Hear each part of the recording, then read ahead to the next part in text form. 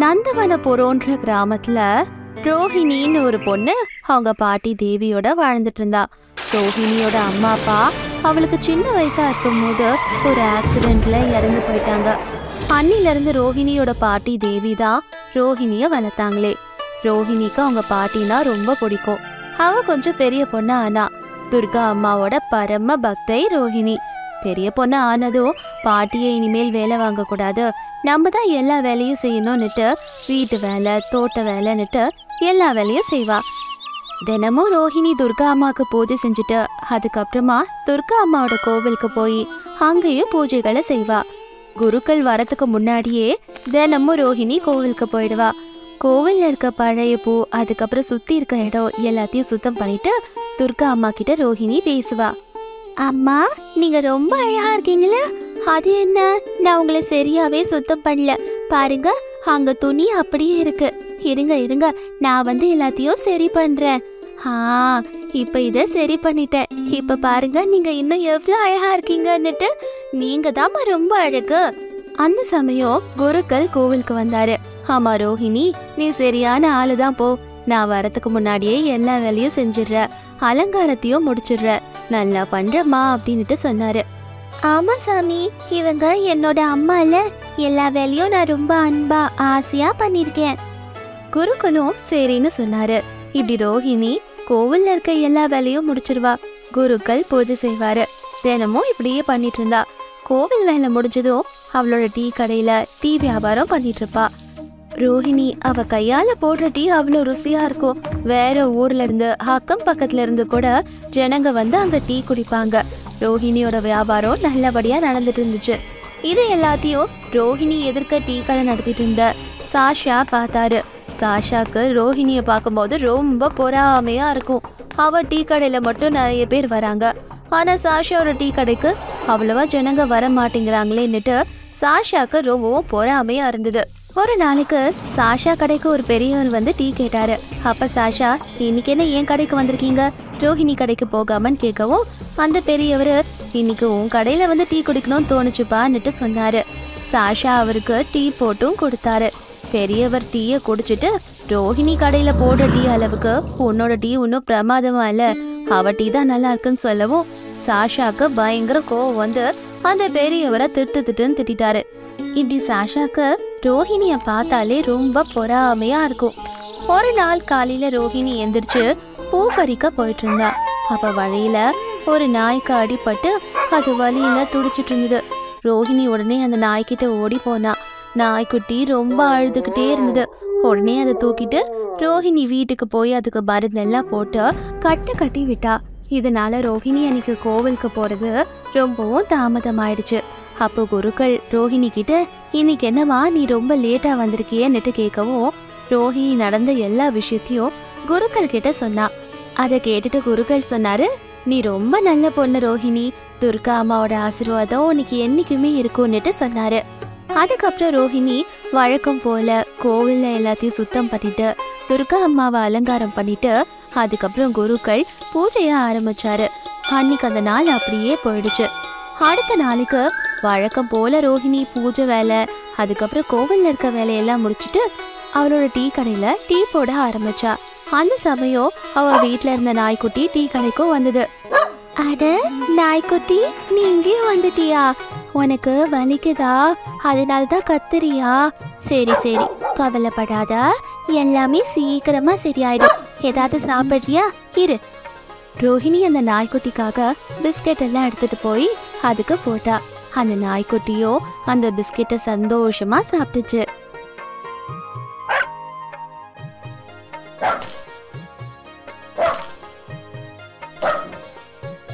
ஓய் உன் பேரே எனக்கு தெரியாது. சரி நானே உனக்கு பேர் வைக்கிறேன். உன் பேரு ஷேரு. உனக்கு பிடிச்சிருக்கா? ரோஹிணி டீ கடையில வேலை பார்க்குற வரைக்கும் ஷேருவும் ரோஹிணிய சுத்தி சுத்தி அங்க இங்கான்னு நடந்துட்டு இருக்கும். இது எல்லாத்தையும் பார்த்த சாஷாக்கு இன்னும் கோவம் வந்தது. என்ன ரோஹிணி உனக்கு தெரியாதா? கோவில் இருக்கிற இடத்துல எதுக்கு நான் எல்லாம் கொண்டு வர? அது கோவிலுக்குள்ள போனா எல்லாமே அசுத்தமாக்கிடும். இதெல்லாம் உனக்கு தெரியாதான்னு கோவமா கேட்டாரு. அண்ணா என்னடா அப்படி சொல்லிட்டீங்க? துர்கா அம்மனுக்கு நாய்கள்னா ரொம்ப பிடிக்கும். நாய்க்குட்டி உள்ள போறதுனால அம்மன் கோச்சுக்க மாட்டாங்க. அதெல்லாம் எதுவும் நடக்காதுண்ணா. அந்த சமயம் கோவில் குருக்கள் அங்க வந்து சாஷா ரோஹிணி சொல்ற எல்லாமே உண்மைதான். அம்மனுக்கு எல்லா உயிரினங்களும் ஒண்ணுதான் எல்லார் மேலேயும் அன்பா இருப்பாங்க. நாய் உள்ள வரதுனால எதுவும் நடக்காது. அதுவும் ஒரு ஜீவன் தானேன்னுட்டு சொன்னாரு. இத கேட்டுட்டு சாஷாக்கு கோவம் வந்து அங்க இருந்து போயிட்டாரு. அதுக்கப்புறம் குருக்கள் ரோஹிணி கிட்ட ரோஹிணி நவராத்திரி வருது உனக்கு ஞாபகம் இருக்கான்னுட்டு கேட்டாரு. அதுக்கு ரோஹிணி இப்படி சொன்னா. அதை எப்படி சாமி மறப்ப? நாளையில இருந்து சீக்கிரமே கோவிலுக்கு வந்துடுற. அடுத்த நாளைக்கு ரோஹிணி காலையிலே கோவிலுக்கு போய் எல்லா வேலையும் முடிச்சுட்டு டீ வியாபாரத்தை பண்ணிட்டு இருந்தா. ஜனங்களும் நிறைய பேர் அந்த சமயத்துல வந்துட்டு இருந்தாங்க. அப்படியே நாட்களும் போச்சு. இதெல்லாம் பார்க்கும்போது சாஷாக்கு பொறாமையா இருந்தது. ஏதாவது பண்ணி ரோஹிணிக்கு கெட்ட பேரை வாங்கி தரணும்னு நினைச்சாரு. அப்படியே நாட்களும் போச்சு. பூஜையோட முக்கியமான நாள் வந்தது.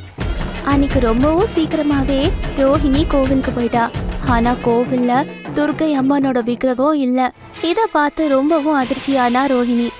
ஐயோ சாமியோட விக்கிரகம் எங்க போச்சு? அம்மன் விக்கிரகம் காணுமே. விக்கிரகம் காணும்னுட்டு ரோஹிணி ரொம்பவும் அழ ஆரம்பிச்சா. அவ ரொம்ப கவலையோட இருக்கும்போது குருக்கள் வந்து ரோஹிணி கிட்ட எங்கம்மா அம்மனோட விக்கிரகம்னுட்டு கேட்டாரு. அப்ப ரோஹிணி சாமி நானும் அதை தான் தேடிட்டு இருக்கேன். நான் கோவிலுக்கு வந்த போதே விக்கிரகம் இங்க இல்ல. யாரோ எடுத்துட்டு போயிருக்காங்கன்னு நினைக்கிறேன்.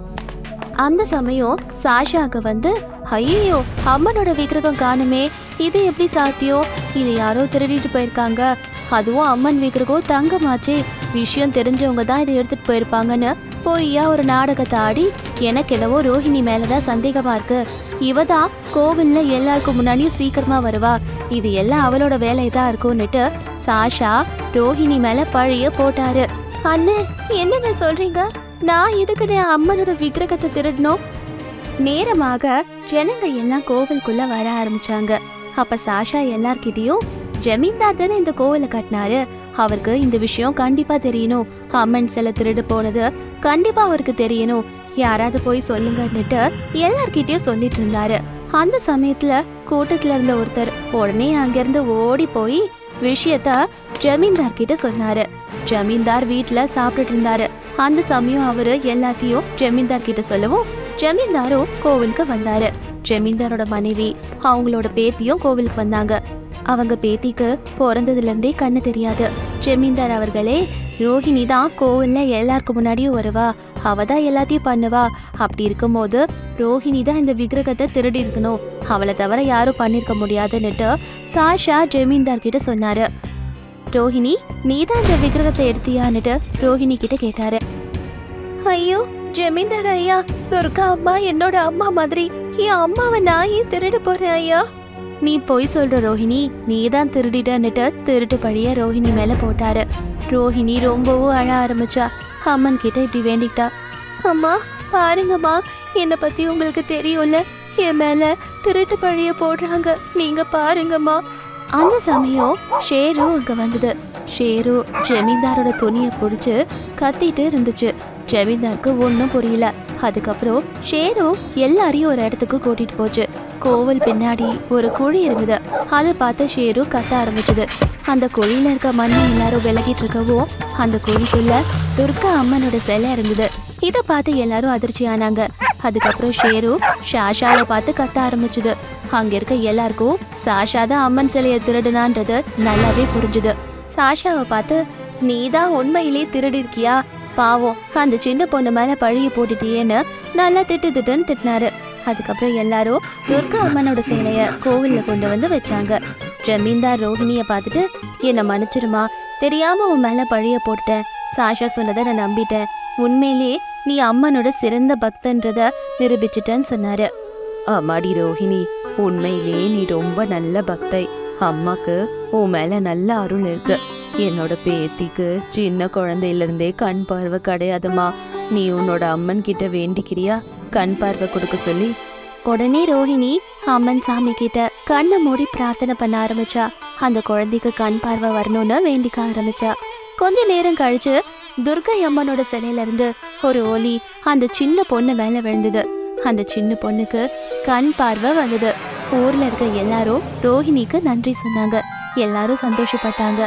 சாஷாக்கும் தான் செஞ்ச தப்ப உணர்ந்து ரோஹிணி கிட்ட மன்னிப்பு கேட்டாரு. அதுக்கப்புறம் ஜமீன்தார் அவரோட பையனுக்கு ரோஹிணிய கல்யாணம் பண்ணி வச்சாரு. ரோஹிணி அவ பாட்டியோட ஜமீன்தார் வீட்டுல ரொம்ப சந்தோஷமா வாழ்ந்தா.